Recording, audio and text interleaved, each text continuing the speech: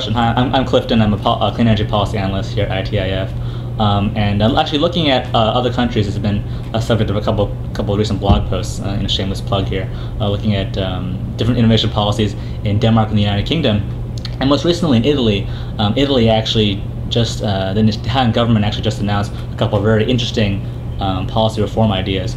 Uh, the first is to implement a, a carbon tax, wherein the revenue from the tax would actually be redirected, reinvested in clean energy which is actually very, very similar to something that ITIF uh, has ag- advocated for in the past, a uh, innovation carbon price.